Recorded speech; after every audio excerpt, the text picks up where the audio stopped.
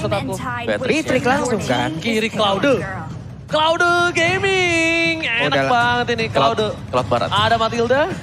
Cloud masih Barat ya, masih pede banget ya Barat. Cloud Barat apa Cloud Balmond? Cuman masalah ntar kita lihat aja ini heavy spin ya kan bergerak untuk menjadi inisiator ataupun menjadi covering loh. Mhm. Karena kan dengan covering yang bisa di karena karena covering pun dia bisa lakukan. Cloudnya masuk. Kalau memang cloud diambil bisa ditabrak sama heavy spin. Bisa clean loh. Clean juga bagus. Bisa clean juga ada Matilda soalnya. Ya benar. Iya. Clean. Bisa juga. Tapi kita lihat ini keputusan sudah dipilih oleh seorang Cassius dan ini dia. Melisa juga masih oke lah. Go away-nya bisa jauhin Pakito sama Akai. Tapi dia nggak punya skill escape tuh. Berat juga ya. Tapi ada Matilda sih. Satu, benar, benar. Oke, Barat. Detona, halo. Detona dan satu lagi. Cloud. Cloud, alright. Jadi dia punya sesuatu untuk melompat langsung ke baris belakang. Detona. Beatrix. Detona. Badannya besar. Tulangnya kecil. Tapi Barat sama Tilda ini kombinasi yang strong banget. Strong. Strong banget. Dari beberapa season kemarin dan kembali terwujudkan di season yang ke-10. Kanan. Ruby sih aku. Ini main-main melee kayak gini Ruby sih. Oh. Rafaela ternyata. Rafaela. Hero-nya? Godiva loh ini. Menarik dari kedua belah draft jujur kir. Do or die. Do or die. Deg-degan sudah pasti. Badan gremet-gremet sudah pasti. Bibir pecah-pecah kemungkinan. Ini pastinya akan membuat mereka jauh di bawah tekanan lagi. Bibir pusing, pala pecah-pecah. Emang cukup membingungkan nampaknya ya. Dan para pemain dari tim Aura Fire kali ini mereka bermain dengan santai. Dan bahkan kita lihat dari sisi tim Aura Fire mereka yang mendominasi. Yap. Karena pemain dari tim Alter Ego di jungle Benar, karena mereka memiliki juga satu efek dari healing yang dikeluarkan oleh Rafaela hingga membuat mereka jauh lebih pede lagi. Masuk ke dalam area pertahanan. Hainya dengan naga yang dia miliki, Rokursa akan menjadi satu target utama. Cuman Matilda masuk terlalu dalam, bisakah dia bertahan? Oh Esmeralda baru saja ada di area depan. Oke, sudah dijemput dengan baik oleh seorang Leo Murphy. Ini dia keuntungan dari seorang Matilda. Bahkan di arah top lane masih mengadu mekanik. Ini dia yang diinginkan oleh seorang Nino kan. Mengadu mekanik dengan seorang Kabuki. Gak ada yang ganggu sama sekali Gak ya. ada yang ganggu sama sekali. di top lane benar-benar duel 1v1. Tapi kita bisa melihat bagaimana Kabuki yang memberikan pressure untuk Nino. Karena dengan hero yang dipakai juga Cloud. Ini untuk di early game. Basic damage dia tidak terlalu besar dibandingkan dengan Kabuki. Dengan Beatrix. Jadi eh, harus sedikit bersabar pastinya. Bagi Nino mungkin men- menunggu satu atau dua item terlebih dahulu. Dan jangan lupakan Nino pernah meng-outplay. Aku lupa ketika melawan siapa dengan Cloudnya. Tapi lihat telah dikeluarkan lari string ke arah belakang. Dan ini dia. Gocekan El Nino. Kali ini di arah top lane membuang soft skill yang banyak dari tim Aura Fire ketika mereka harusnya tim fight di objektif. Dan kemungkinan besar objektif kali ini diamankan dengan waktu yang singkat oleh seorang Silly Boy. Oke, hanya saja itu pun.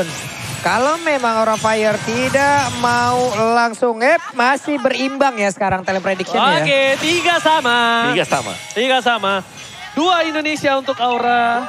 Dua eh, apa namanya Inggris untuk Alter Ego. Tapi satu-satu mereka Alter Ego dan juga Aura. Kita menuju Bobo ya. Oke, tadi Barat berhasil untuk mendapatkan satu objektif ya. Tapi terlalu dalam. Uh, dapat Sally Boy.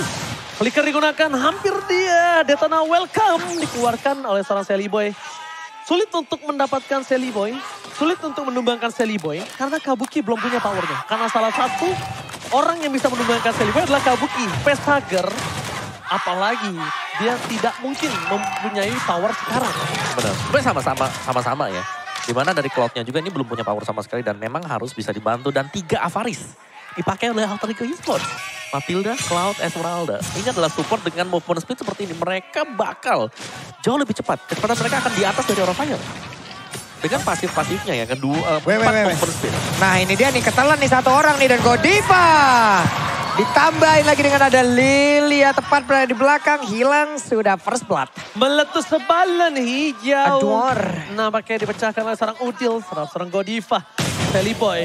Walaupun kita lihat ada sang mantan kapten, dia nggak peduli. Pai masih versus Fluffy di arah bottom lane. Benar-benar adu mekanik sampai rematik nampaknya di sana ya. Wah. Ini menarik banget ketika rotasi yang dilakukan Sally Boy. Ini mencoba untuk menuju ke arah top lane. Sally Boy butuh stuck kali ini. Betul. Oke? Cari, ya makin Jadi kecil. kecil. Makin kecil. Jadi anak kecil. Ya, kicil. Ya jadi anak kecil. Ya di sini Oke, sementara Pai di bawah pun harus recall terlebih dahulu. Menambahkan lagi dari sini si pool mana yang dia milikin. Tapi Vestager ada di area mid. Godiva dengan Rafaelanya pun harus mundur dengan volley healing yang dia milikin. Hai, masih bersembunyi, masih santai. Fluffy menjadi trigger yang ada di area depan. Dengan misil expert yang dikeluarkan, masih bisa dikocek. Pergi lagi. Oke, mencoba untuk merangkak sedikit demi sedikit. Melewati satu buah lintangan. Tapi Fluffy gak berhasil dapetin poin kill atas seorang Udil. Wah. Nino karena stucknya hilang. Gak dia dapet. gak mau dive in dengan satu buah Blazing Blade dan dia pun gak ada. Para pemain dari tim Aura Fire mereka terperangkap di dalam zonanya sendiri. Pada saat dikeluarkan, Pai mencoba untuk mendistraction. Flicker keluarkan bahkan Pai. Ini dia, Lionel Pai membawa para pemain dari tim Aura Fire ke jurang. Tapi nampaknya Pai yang harus kecemplung. Wow, baik membayang time waktu cukup lama sempat tadi kita lihat ya. Tapi dia yang berbeda, turtle-nya berhasil diambil lagi oleh player dari Alter Ego Esport dan Pai berhasil menjalankan misinya. Berhasil Oh, menjalankan tugasnya. Oke Nino berani untuk melakukan poking damage. Satu versus satu ketika dia tahu yang dipegang bukan Nibiru ataupun Renner ataupun Wesker membuat Nino jadi berani untuk melakukan adu dan langsung aja kita lihat blessing duet dikeluarkan. Fokus ke arah belakang dan langsung ada satu battle mirror image. Dua pada heavy spin Hai tahu kali ini. Nino nggak bisa disumbangkan tapi Fluffy berhasil mendapatkan satu buah objektif dari bottom lane. Feather Extract for secure turret outer saja Oke, ih suaranya lucu banget. Ada tiga player yang bergerak bersamaan, tapi balik lagi. Sally Boy harus tetap mempertahankan stacknya. Masih sempatkah? Karena kemungkinan sedikit lagi akan menghilang dan mudah menciut badannya. Tapi dari sisi item, Om.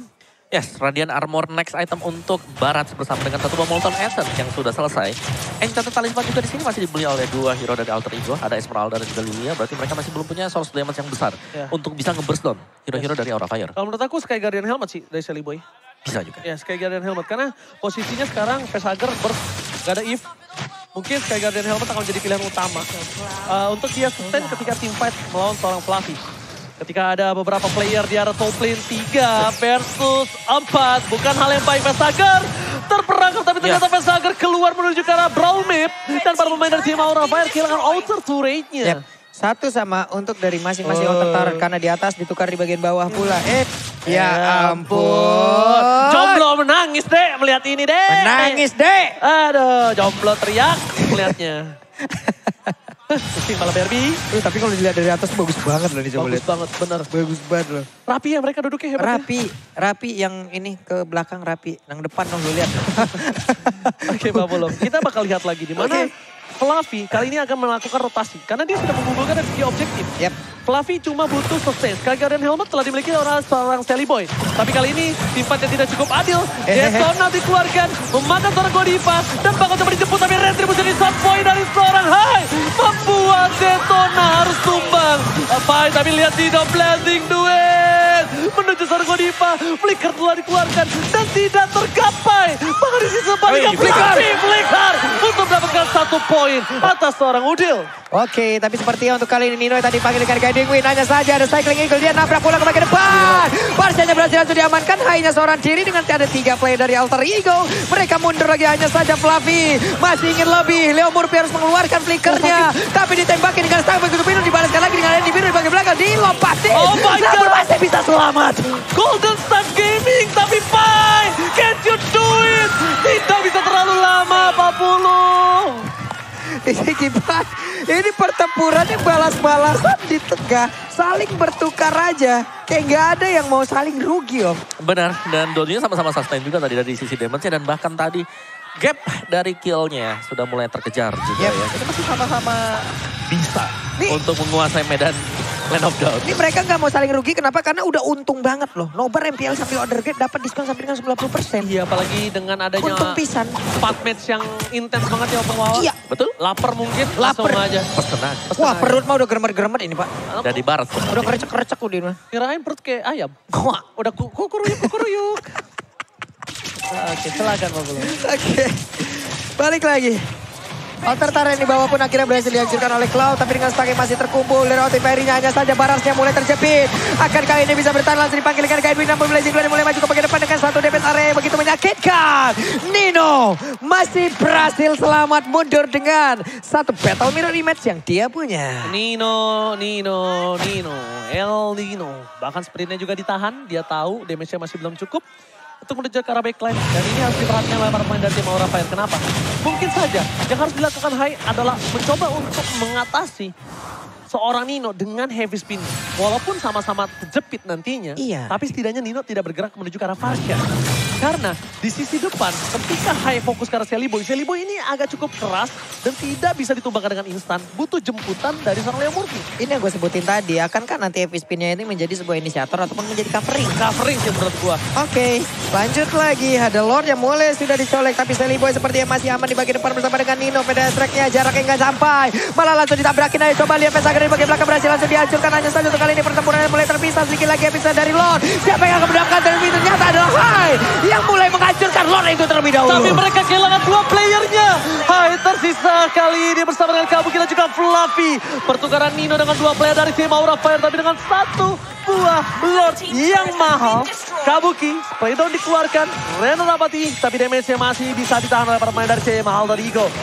Reno Rapati kali ini miss. Fluffy masih mencari celah untuk melakukan flanking. Lord dibiarkan begitu saja. Lord dilepaskan tapi lihat Fluffy dia berada di arah rumput untuk memberikan surprise. Happy birthday, double knockout strike bahkan Black Sus dipaksa untuk membuat dia bertahan hidup. Masih ada Days, Pesta akan menjemput. Wah, selamat Dan lihat dong. selamat. Ini dia coverisasi backup cover yang baik dari Pasager. Dan deny rotation dilakukan Fluffy. Membuat baik time yang cukup mahal. Salibon dan Medical Boy bakal coba ditutup begitu saja.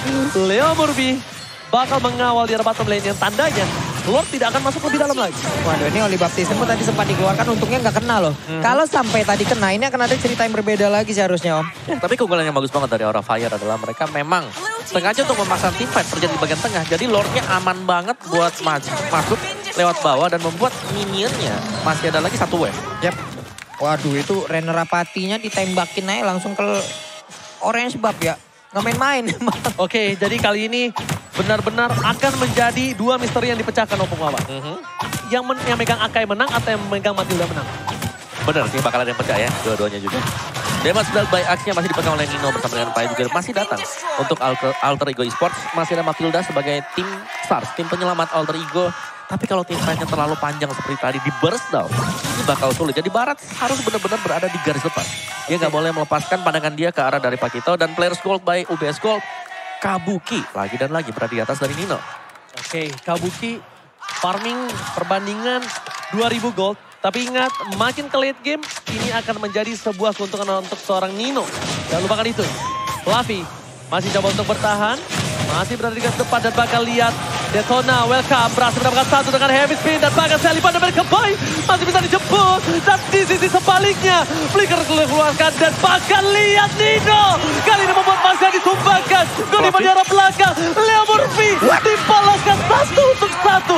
Masalah dari utamanya adalah di mana Udil hampir bisa ditumbangin dan betul sekali. Udil ditumbangkan. Fluffy masih mau lebih. Ini adalah kesempatan untuk mundur di engage harus dilakukan karena Nino too strong kalau menurut aku. Waduh tiga Nino lawan tiga. Aduh, Tiga lawan tiga tapi Nino too strong. Ini tag team tiga lawan tiga. Masalahnya oke Nino, Nino too strong. Sementara dari sisi yang berbeda Kabuki satu klip pelurunya tadi coba masuk ke dalam tubuh dari Cloud. Untungnya Kenceng pak. dia pakai Renner. Karena apa pak? Ketika bisa digocek, gak bakal kena ke Cloud. Sedangkan Cloud tetap basic attack-nya nyala karena seorang Kabuki. Nino, sekarang backline, Fluffy jadi pilihan utama. Knockout strike tapi Des, double. Des. Bakal coba dijemput. Federasi dikeluarkan. Ini bencana. Nino gak boleh tertangkap. Dan bahkan Nino, win of nature. Versus win of nature. Tapi Nino ter-take down. Bukan hal yang baik. Five, Five, five, five. five. Double kill. Ini Ini udah kita sebutin tadi kalau Kabuki damage-nya udah nggak main-main lagi. Hanya dengan satu kali tembak empat peluru masuk ke tubuh satu player. Dan itu yang membuat damage begitu mengerikan. Tapi kelihatan dari satu support system begitu berarti. Keluarga dari Pai. Keluarga dari Ramfli ya datang. Tapi lihat Sally Boy masih berhasil melakukan purple buff. Di reset kembali. Dia masih Lord yang kedua. Belum menuju late game. Untuk para pemain dari tim Aura Fire, mereka tetap harus menjaga Vestager. Sedangkan dari Alter Ego, mereka harus tetap buat waktu untuk Nino berada di posisi yang sesungguhnya. Benar, Nino tidak boleh ter-pick off atau berjalan mungkin hanya berdua ya tadi. Iya. Memang positioning dia bagus. Ada battle mirror minute yang sudah bisa dibuka, tapi satu tembakan dari biru tadi. Ini birunya om berasa banget udah ini. Perih banget. Nih birunya udah punya BOD, Melvic Roll, Counter Strike, Dan kemungkinan Haskell. Penetration. Mau bikin apa ini terakhir? Haskell? Haskell. Haskell jauh lebih. Kalau ja- ini, Sustain. jauh lebih sustain lagi. kalau ini harus Haskell. Harus. Karena dia akan one by one nanti. Best Red akan coba dipecahkan. Feder Estrek. Fluffy mundur ke arah belakang. Best Red tetap menjadi pilihan utama. Hai, akan coba dimakan. Habis Spin telah dikeluarkan. Nino hanya Blazing Duet untuk clear minion saja. Tapi Best Turret yang dipecahkan di arah tengah. Eh, Hai-nya. Memberikan sedikit sebuah impact. Tapi oh my god. What? Rena Rapati. Telepon American Boy. Ini berbahaya banget ketika Wave masih bergerak di arah tengah. Maka coba dipaksakan. Nino nggak ada blessing duit. Malefic Lord telah dipilih. Ah, Fluffy, lagi ke Fluffy. belakang. Terlalu dalam. Masih ditumbangkan. Masih ditukar ke satu. Tapi Matilda down. Ini Aldrico. Oke, 4 lawan 3 sejauh ini hanya tinggal menunggu wave dari minion aja. Tapi di bagian bawah masih ada satu gerobak UMKM yang bisa menyelamatkan mereka untuk bisa menghancurkan lagi. Karena satu best turret milik Alter, Ego Esport dan Aura harus menahan nafsunya terlebih dahulu. Mundur sesaat mereka.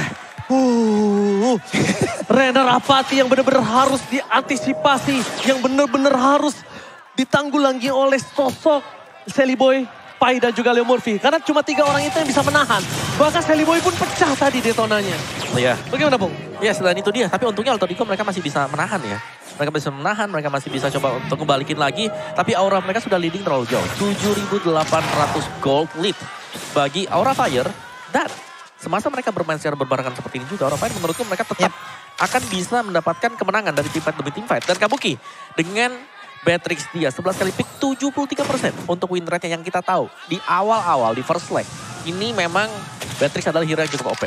Dan di segan- 73 persen ya. Ya, tapi sekarang sudah mulai dilepaskan. Dan tampaknya ada yang sadar kalau ini masih OP juga. Masih Iya. sakit Sebenarnya kali ini OP dan sakit itu masih. Tapi gimana caranya positioning. positioningnya? Dikejar oleh siapa? Pai nggak bisa kejar. Karena dia bukan pakai Yusung kali ini. Yes. Kasusnya berbeda. Banyak banget uh, slow, banyak banget damage dan bahkan heavy spin aja bisa menutup pergerakan di seorang Pai. Karena uh, calculate-nya, gue nutup Pai pun untuk heavy spin untuk Pai nggak masalah. Ditukar dengan point kill. Karena Pai ini bakal membuat facehugger ataupun kabuki. Tuh, tuh, Sulit. tuh. Tuh, rendernya mau ke mana tuh? Tar. Tar. Kalau nggak ada yang kena ya. Tidak ada yang kenanya saja sekarang. Harusnya Lord ini akan menjadi satu momen yang sangat-sangat mematikan. di mana ada beberapa pergerakan yang dimiliki oleh pemain dari Alter Ego. Tapi didorong juga oleh Hai. Mereka semua harus menjauh. Tapi Lordnya harusnya ke reset dulu ya. Riset, tapi problemnya satu. Apa itu? Di mana Fluffy? Lihat doa dari sang support system A yang sudah dikumandangkan. Karena ini ada menjadi Lord yang cukup krusial. Nino terlalu jauh. Sally Boy masih punya Detona. Godiva mundur ke arah belakang. Immortality pecah. Ini berbahaya. Tapi lihat. Pesaga masih tetap menutup dan bahkan Sally Boy ter-take down. Fluffy masih coba untuk mundur ke arah belakang dengan satu buah dace-nya. Immortality. Dan bahkan di sisi sebaliknya Nino. Gak boleh tumbang. Sprint ke arah belakang. Bakal coba dikejar. Aura Fire. Gak mau menurunkan tempo. Team fight akan terjadi. 5 versus 4. Dan di arah bottom lane. Minion bergerak bersama dengan arah tengah. Fokus ke arah base-nya. Ini Pantara. Oke. Aura Fire. Mencoba menyelesaikan tugasnya. Morphy ter-take down kah? Dan Kejepit. Nino-nya. Karena Blazing Duet. Nino ter-take down. Tukang somai ke timur got. Oh my God. Dan Aura Fire membalikkan keadaan.